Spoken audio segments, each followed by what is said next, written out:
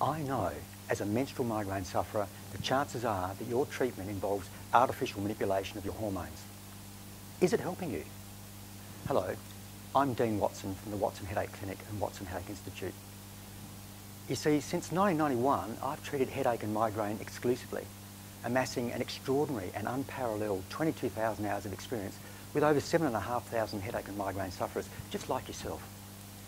So now here's why artificially manipulating your hormones is not helping you.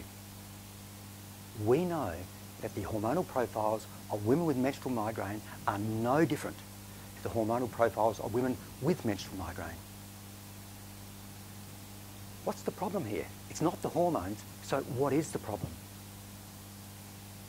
Here's the clue. We know that the triptans treat menstrual migraine effectively. Now, you may be familiar with the triptans, but if you're not, let me explain.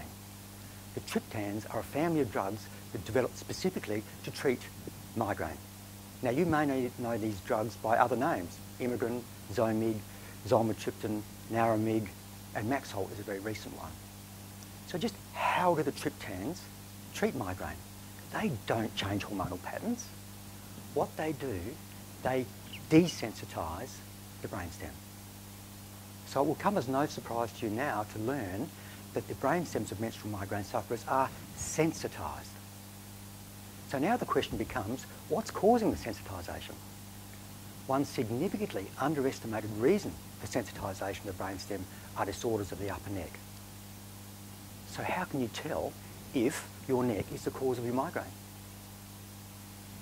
If your migraine is one-sided, but it can be on either side, between episodes, or within the same episode, then it is your neck, without a doubt. I want you to think about that for a moment. Now, having said that, if your migraine is one-sided and it's always, always, always on that one side, or if it's on both sides at the same time, it doesn't rule out your neck.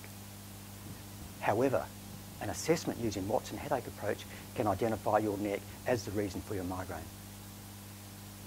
The Watson headache approach is the only manual therapy approach that's been shown to desensitise the brainstem. There is no doubt, there is no guesswork about this. I can demonstrate this to you quite clearly. For more information, please visit our website, watsonheadacheclinic.com forward slash menstrual migraine.